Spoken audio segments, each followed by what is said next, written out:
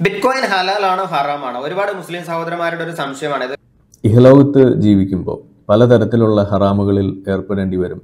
നോക്കുന്നിടത്തും കേൾക്കുന്നിടത്തും ഏർപ്പെടുന്ന മേഖലകളിലെല്ലാം ഹറാമുകൾ ഉണ്ടാകും. അപ്പം അതിൽ നിന്നെല്ലാം രക്ഷപ്പെടാൻ ഒറ്റ വഴിയുള്ളൂ സത്യത്തിൽ ബിറ്റ്കോയിൻ ഹറാമാണോ എന്ന് നോക്കുന്നതിന് മുന്നേ ഇപ്പൊ നമ്മൾ ഉപയോഗിക്കുന്ന ഫിയറ്റ് കറൻസി പേപ്പർ കറൻസി ഹറാമാണോ എന്ന് നോക്കാം. ഇപ്പൊ ഇസ്ലാം പറയുന്നത് ആക്ച്വലി ഒരു കമ്മോഡിറ്റി ആയിരിക്കണം ഇൻട്രൻസിക് വാല്യൂ ഉള്ള. അതായത് നമ്മൾ കറൻസി ആയിട്ട് ഉപയോഗിച്ചിട്ടില്ലെങ്കിലും ഇൻട്രൻസിക് വാല്യൂ ഉള്ള ഒരു കമ്മോഡിറ്റി ആയിരിക്കണം പണം മീഡിയം ഓഫ് എക്സ്ചേഞ്ച് എന്നുള്ളതാണ്. അപ്പൊ ഉദാഹരണത്തിന് gold silver barley rice dates ഉപ്പ് ഇത്തരത്തിലുള്ള ഒരു ആറേഴ് കമ്മോഡിറ്റികളാണ് ഹദീസിലും മറ്റും മെൻഷൻ ചെയ്തിട്ടുള്ള മീഡിയം ഓഫ് എക്സ്ചേഞ്ച് അല്ലെങ്കിൽ കറൻസി ഇത് ഫിയറ്റ് കറൻസികളാണ് അതിന്റെ വാല്യൂ ആക്ച്വലി ഉണ്ടാകുന്നത് ഗവൺമെന്റ് ഇഷ്യൂ ചെയ്യുന്നു എന്നുകൊണ്ട് മാത്രമാണ്. സോ അത് മാത്രമല്ല നമ്മൾ വേറൊരു ആസ്പെക്റ്റിൽ നോക്കുകയാണെന്നുണ്ടെങ്കിൽ ഇപ്പോൾ നിലവിൽ ninety five percentage money supply create ചെയ്യുന്നത് ബാങ്കുകളാണ്. ബാങ്കുകൾ ലോൺ കൊടുക്കുക എന്നുള്ളൊരു പ്രോസസ്സിലൂടെ ഫ്രാക്ഷണൽ റിസർവ് ലെൻഡിങ് എന്നുള്ളൊരു പ്രോസസ്സിലൂടെയാണ് ഈ പണം ക്രിയേറ്റ് ചെയ്യുന്നത്.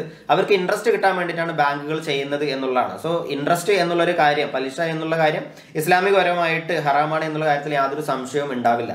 പല വിധത്തിലുള്ള ഹറാമുകളിൽ ഏർപ്പെടേണ്ടി വരും. അപ്പൊ അതുകൊണ്ട് ആട് മേയ്ക്കാൻ പോകാം. ഫിയറ്റ് കറൻസി ആണ് ഹറാം എന്ന് പറയേണ്ടി വരും എന്നുള്ളതാണ് റിയാലിറ്റി കാശ് കൊടുത്ത് ബസ്സിൽ യാത്ര ചെയ്യുന്നതോ അതല്ലെങ്കിൽ ഒരു സാധനം വാങ്ങുന്നതോ പോലും ഹറാമാണ് എന്ന് കാണുമ്പോൾ ഇതുപോലെ പണ്ട് കാലത്ത് നമ്മളൊക്കെ സ്കൂളിൽ പഠിച്ച ബാർട്ടർ സിസ്റ്റത്തിലേക്കൊക്കെ തിരിച്ചു പോകാനൊക്കെ ഉദ്ദേശിച്ചുകൊണ്ട് തനതായ ഇസ്ലാമിക രീതികൾ കണ്ടെത്താൻ വേണ്ടി ആറാം നൂറ്റാണ്ടിലേക്ക് വണ്ടി കയറുന്ന അതിനുവേണ്ടി ആട് മേയ്ക്കാൻ പോകുന്ന ആളുകളുടെ പിന്നിൽ പ്രവർത്തിക്കുന്ന ആ ചേതവ് വികാരം. അതെന്താണ് എന്നും ഇപ്പോൾ ഇവിടെ ഏകദേശം നിങ്ങൾക്ക് പിടികിട്ടി കാണും.